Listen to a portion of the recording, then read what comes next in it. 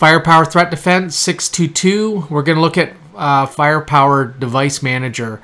Um, this is on the uh, VM side. So this is something new introduced on 622. We had uh, FDM or Firepower Device Manager on some appliances, but not all of them.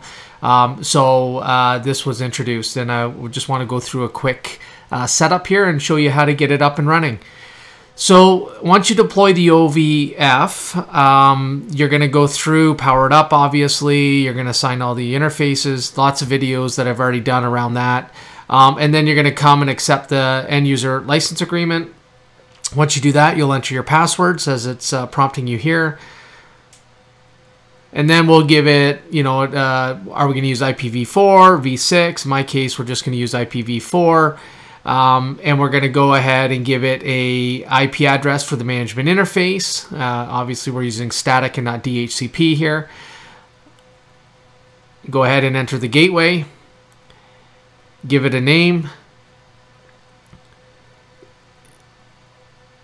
And uh, uh, something here I like is that we're using Cisco Umbrella, formerly OpenDNS, as the default DNS servers. So I think that's pretty cool.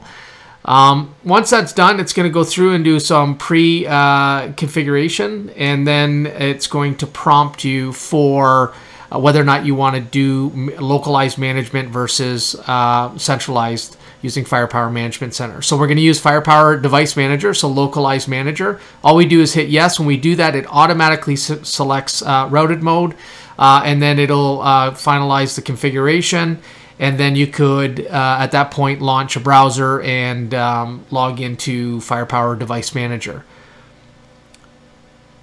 So that's it. That it, it's done at that point. So let's go up to a browser and make sure that we get in the login page.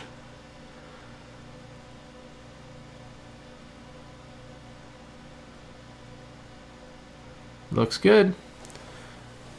And that's it. It's pretty simple, right? Um, obviously, this is not configuring the device. I'll show you that in the next video uh, fairly shortly.